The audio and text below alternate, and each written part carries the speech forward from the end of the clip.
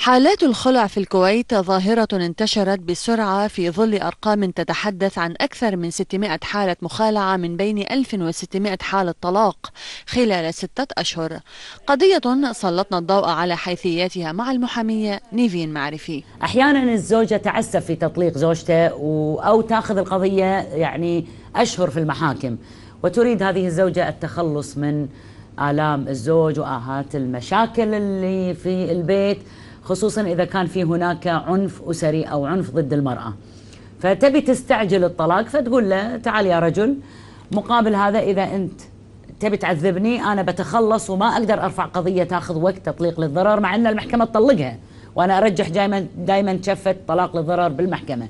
فتقوم تقول لا أتنازل عن نفقتي. هي ما لها حق بالأصل تتنازل عن نفقة العيال ولكن ممكن تتبرع في نفقة الأبناء وتقول أن أنا آخذ مبلغ بسيط مقابل ذلك لأن لا تملك التنازل عن مال الغير. أحيانا الزوج يقول أنا عندي شرط عشان أخالعك يبدي عاد هني يتشرط شنو الشرط؟ يقول لها ها تنازلي عن العيال وأنا أخالعك. طبعا شرعا هذا الشرط باطل لا يجوز. وأن تم الاتفاق عليه نقدر إحنا نبطلها بالمحكمة. وايد عندنا تقارير طبية زوج طق زوجته سبها أهانها حجز حريتها. الوسائل الإلكترونية عندنا زادت.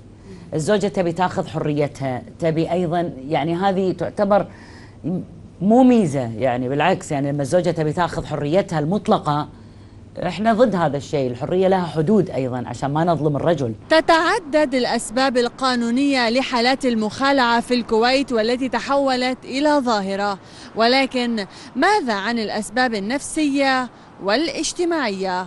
المتخصصون في علم النفس والاجتماع يرون أن المبالغة والجرأة غير مبررين في طلب الخلع. صار في نوع من يعني الجرأة في ذلك. يعني في السابق يعني من اللي تخلع زوجها؟ إلا يعني الزوج كان مثلا آه، حشاش أو إنه يشرب أو إنه مريض نفسيا أو عاجز نفسيا هنا المرأة تخلع زوجها. عندها المبررات في الخلع. يعني صار فيها نوع من المبالغة أكثر لاتفه الأسباب. والله أنا والله شكلك مو عاجبني. يلا. أو إنه والله أنت ما قاعد تصرف علي والله يلا. أه والله أحس إنك أنت ما قاعد تعاملني مثل ما أه زوج صديقتي آه، يعامل آه، صديقتي. لا مع السلامة. فبدت يعني على أتفه الأسباب تخلق هنا عاد هي يعني منطق تقول والله أنا حريتي. ويؤكد القانونيون أن المشرع الكويتي تعاطى مع الخلع كشرع ولكن لم يتطرق إلى حق الزوجة. في مقاضاة الزوج بدعوى تسمى دعوى خلع. ابتسام رمال الرأي.